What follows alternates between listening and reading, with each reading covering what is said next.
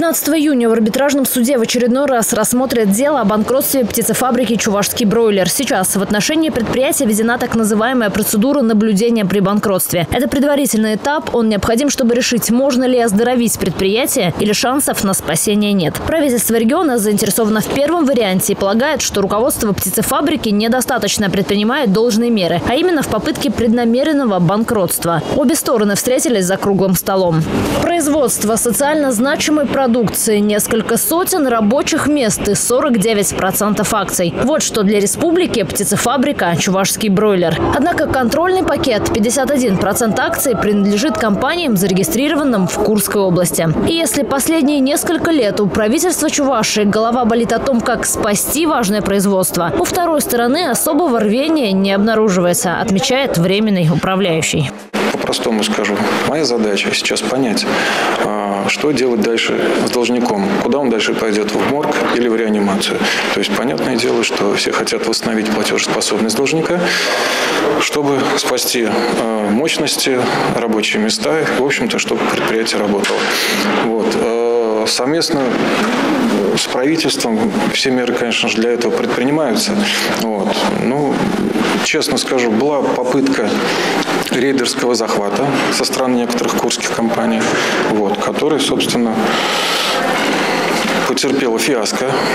А, на данный момент, то есть в рамках проведения анализа, а, также мной было сделано заключение о наличии признаков преднамеренного банкротства. А намеренно банкротят предприятия, как правило, для вывода активов. За круглым столом третий по счету за последние два года директор, назначенный из Курской области и, по его словам, птицами раньше не занимавшийся, на вопросы отвечал неохотно, передавая слово директору исполнительному. Я же только в сентябре приступил к обязанностям своим.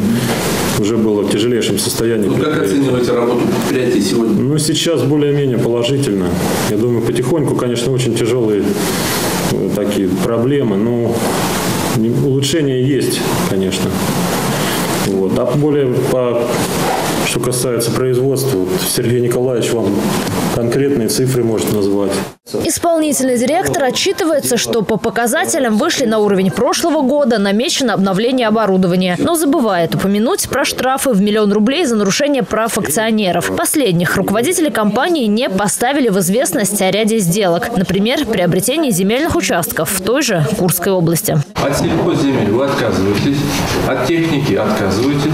И в Курской области покупаете землю для того, чтобы строить дома. Это чувашский бройлер, ну, он предприятие предназначен мясовыращиватель. Может, это как совет директоров что-то, да, предполагал более коммерческое. Сегодня идет наращение штрафных санкций вместо того, чтобы заниматься реальной работой. Наша цель, повторяюсь, не накладывать на них штрафные санкции. Наша цель защитить интересы наших, э, нашего э, населения Чувашской Республики. Мы вышли с обращениями в правоохранительные органы и в прошлом году, и в этом году настаиваем на своей позиции, что есть, мы полагаем, элементы преднамеренного банкротства. Еще один факт, который вызывает вопросы. Вся торговая сеть чувашского бройлера находится в ведении компании с любопытным названием «Тени Торг». Это когда было банкротство, у нас же счета были все закрыты, они нам помогали.